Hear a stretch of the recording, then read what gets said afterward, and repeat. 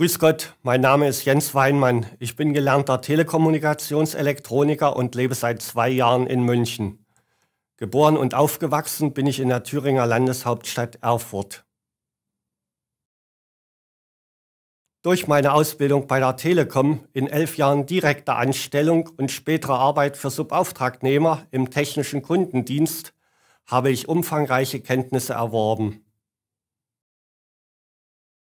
Im direkten Kundenkontakt beseitigte ich Störungen bei Telefon- und DSL-Anschlüssen sowie Datenleitungen und installierte diese im Sprechstellenbau.